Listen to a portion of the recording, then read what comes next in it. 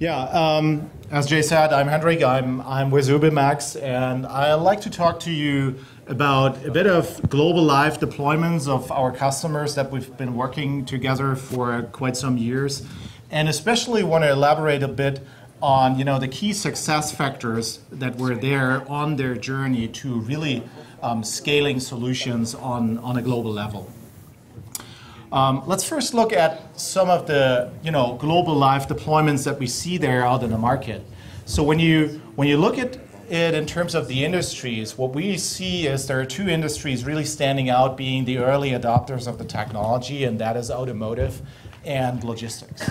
Um, we've been working together with Daimler, for example, already back in 2013 to look into different use cases around warehousing, around assembly, and uh, also inspection activities.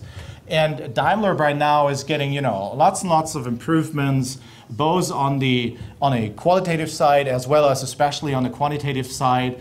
And they are now rolled out with various applications and use cases at multiple sites um, globally. And the same actually holds true for the logistics space. We clearly see a front runner being uh, DHL, um, being the early adopter in 2014, uh, achieving tremendous um, performance improvements. We've seen 25% plus performance increase, um, very positive worker feedback. And um, this goes on, and it goes on obviously to other industries. Uh, the, the tech industry is really um, close behind. They also deploying on a global scale already by now. And global basically means at scale, not just at one site, at multiple sites, and not maybe at just one country, but in many countries here. And, and there are many more coming up um, that are really at the point by now um, to really scale the business, not just do one uh, application here and there, but really scale a certain solution. And I'd like to show you a video from one of our recent projects that we did together with Intel in the logistics space, um, because that video to me pretty cool shows what the benefit of the technology is already today, how the wearable tech can change the processes as they are, and also is speaking a bit about the key success factors um, for the technology and especially for Intel. So let's have a look. Hopefully that plays. For distribution centers faced with an ever-increasing quantity of orders, picking is still identified as the primary area for improved efficiency. Like other enterprises with complex supply chains, technology giant Intel is continually striving to improve efficiency in their worldwide distribution centers. The purpose of setting up the pilot was to learn what efficiencies we could drive with head-worn against something like a handheld scanner. Since I've been at Intel, we've been using handheld RF units, a combination of both scanning and data entry. My biggest issue with the hand scanners is that it's bulky. So you got to scan multiple places. Uh, I don't like how much information I have to constantly put in. There's extra information that's not needed. Wasted time placing the RF unit on the shelf or on a cart having put it down, pick it back up, put it down. It's a hassle. We started talking to Ubimax and we brought them in as our partner. And from there, we created a new workflow.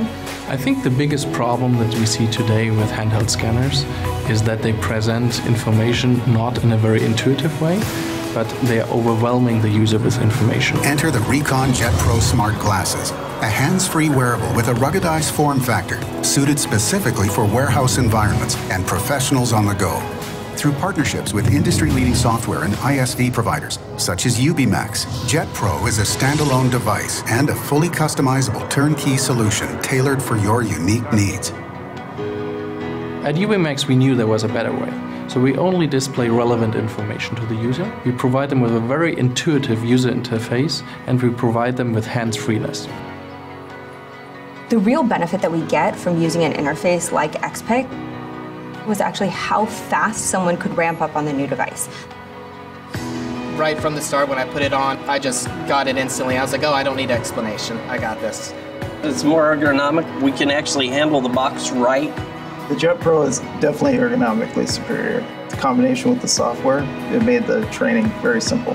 JetPro only shows us the information that we currently need. It shows us the location that we need to go to and what we need to scan, which overall makes us faster. Our hands are free with the JetPro, so that speeds us up a lot, just allowing us to scan grab, go, and see where my next location is. The real benefit that we found was that we saw consistent efficiency gains across all of the workers, regardless of how long they'd been here or not. The Recon Jet Pro could drive efficiencies that you couldn't use with other devices. Reduce your picking time per box up to 29% and increase performance of your order picking process with Recon Jet Pro, the new efficiency driver for logistics professionals. The Intel Recon Jet Pro, smart glasses for the smart enterprise. I, I don't want to speak um, too much about you know the performance improvements and all these kind of things that, that those organizations are getting out of the technology. But what I think becomes clear is the importance of usability on the one hand side combined with the technological capabilities of the actual devices. But what is actually the key factor, obviously, is um, what is the technology, what is the software actually that they're running? Because the software obviously becomes a key success factor for the enterprises. And what we've seen with Intel and the likes is basically that the industry is looking for actually solutions, ready to deploy solutions. They typically are not so much, given the current stage of the market, interested in you know a kind of a platform play where you get a toolbox which potentially can solve your problem. They want to get solutions that right away solve the problem. In the best case, it is a solution that comes with kind of standardized and pre-configured processes that they just need to a little bit adapt in order to drive value for, for the enterprise. And obviously, um, since customers are more up to solutions by now, there has to be a solid foundation underneath in order to power those smart glasses, in order to provide the functionality that these enterprises need.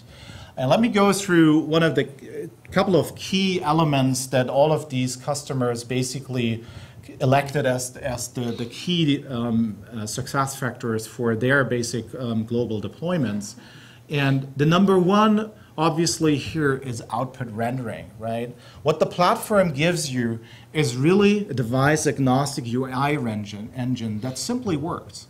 That simply works no matter whether you're selecting a monocular device a binocular device, or whether you're not selecting a smart glass at all, but go for a um, smartwatch, right? Because right now the customers and the enterprises, they want to, especially in the early days, they want to test out different devices.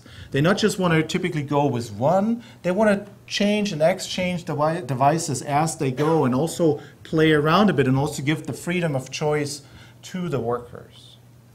And the second thing here is obviously pretty tied up with in output, and that is definitely input.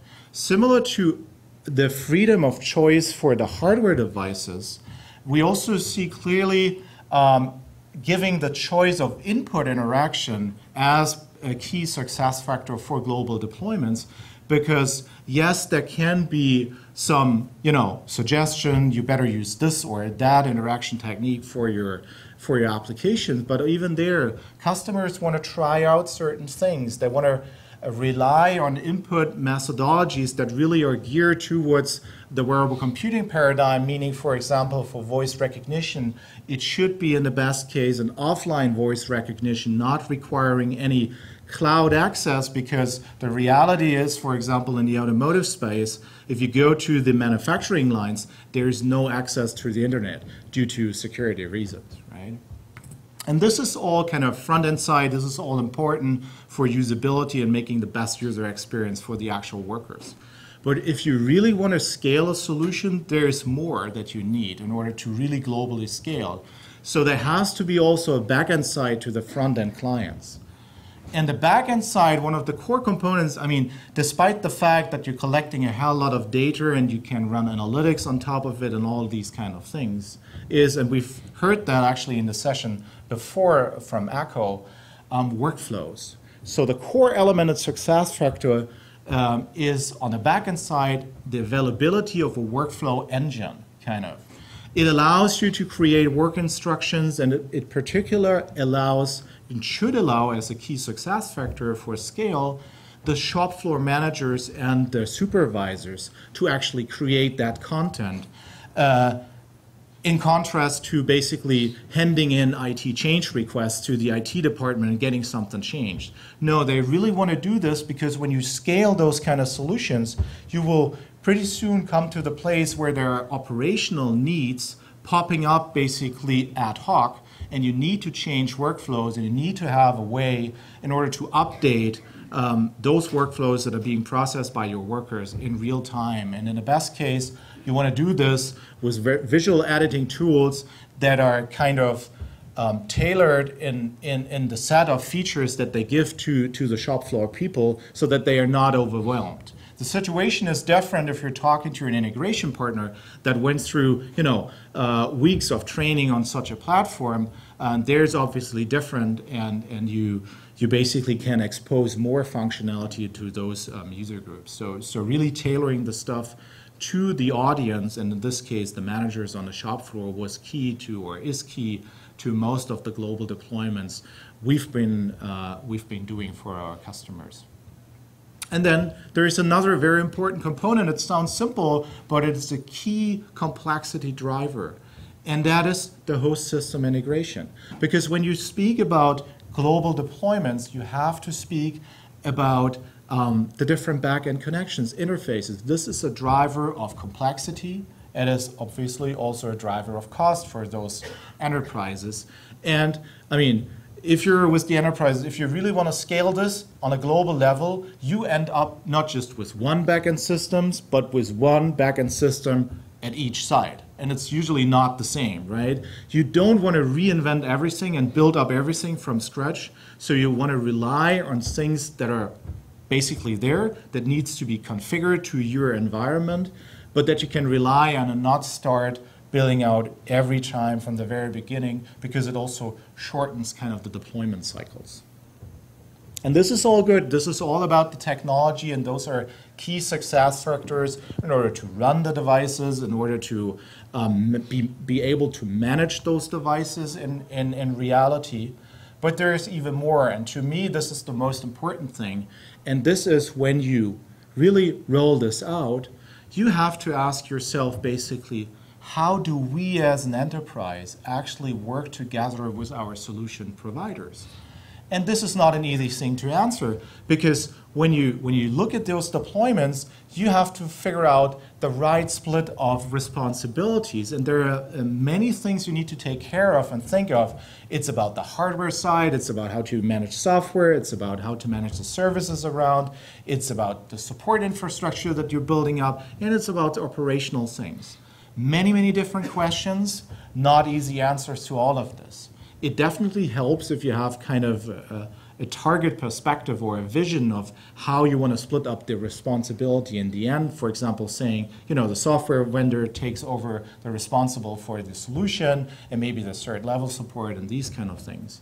But the reality is, once you do this um, in the enterprise space, um, you need to carefully consider together with the enterprise what tasks and activities can they already take on early on? So, what is their level of capabilities around the technology, and which of these activities they can take on kind of as they go and or as they grow through the process, basically. And we found it uh, together with the customers as one of the key success factors for all of these rollout programs on, a, on the larger scale that we've been able to provide a kind of a professional end-to-end infrastructure that gives the enterprises the flexibility of choice deciding which process they want to run on their own and what not, kind of, and which later, and so on and so forth. I think those are the key elements that we've been seeing also customers struggling with when they really have the ambition to grow this stuff. That's it. thank you for your attention.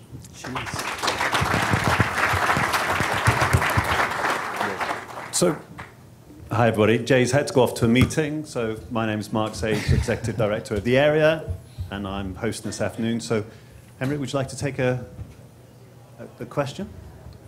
Yeah, well, uh, is Ubimax a turnkey solution? Well, um, you can consider the solutions that we're providing for, you know, the logistics space, the, the, the maintenance uh, space, the assembly space, and the remote support um, you can consider us as a turnkey solution. Uh, I would actually say it's the kind of the Microsoft Office for the frontline worker, if you will, right? I- i- It's really a kind of a turnkey solution that you don't need to develop from scratch. It's just about configuring the stuff. Yes. Okay, great. Thank you very much. Thank you. Thank you.